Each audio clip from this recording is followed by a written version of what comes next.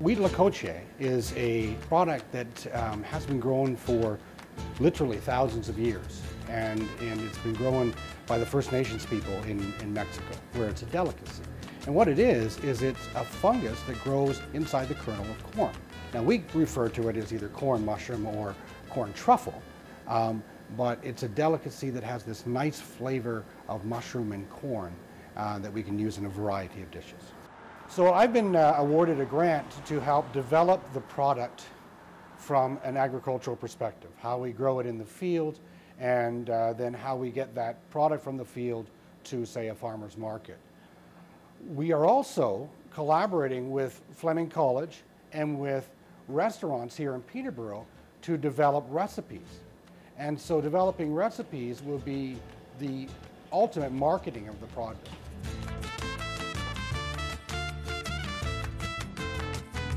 This is our wonderful Huitlacoche.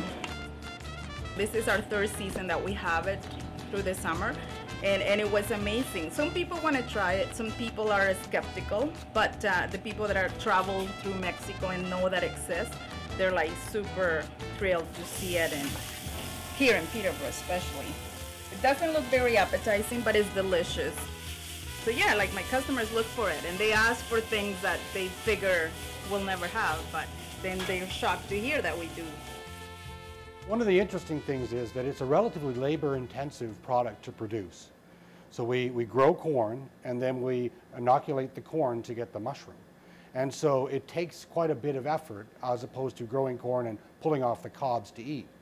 And as such, um, there's more cost that goes into it, but it's also, uh, it, you could demand a higher price in the market. This is when I was looking at my overexpression mutants under the microscope and they didn't look different than wild type. This is great. One of the cool things is that corn infected with this mushroom, right, is actually has a better protein profile than corn alone. So there are two amino acids that are essential amino acids for human health that aren't in corn but are in the corn mushroom. And so you get this good money value for your market gardener and a health benefit for your consumer in something that I think tastes unique and interesting. So wheat Huitlacoche isn't the prettiest thing to look at.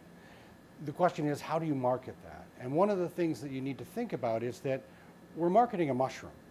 And mushrooms that people are most familiar with, like the, uh, the button mushroom that you put in your salads, aren't necessarily the prettiest thing either.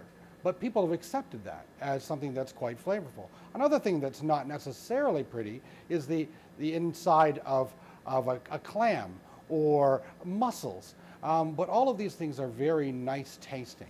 And that is the kind of market the, that we're, we're looking at to develop. It's sort of a niche market with specialty food shops and things like that. Okay. So I need guacamole with huitlacoche. Guacamole with Huitlacoche. Mm.